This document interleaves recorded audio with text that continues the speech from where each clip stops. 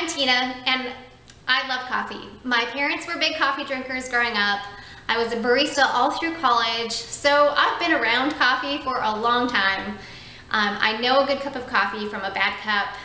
Uh, often churches, hotels, offices have less than appetizing coffee.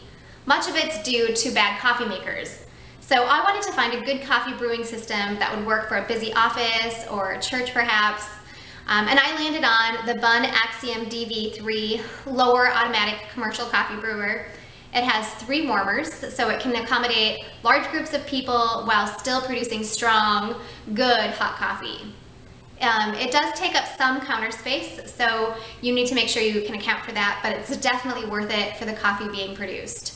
Um, it's great too because while there are three warmers, which is great for a room full of people, it's also capable of brewing smaller batches, which is perfect for quieter days. Um, this is a great sturdy coffee brewer that will have a long life and produce many, many, many cups of quality coffee.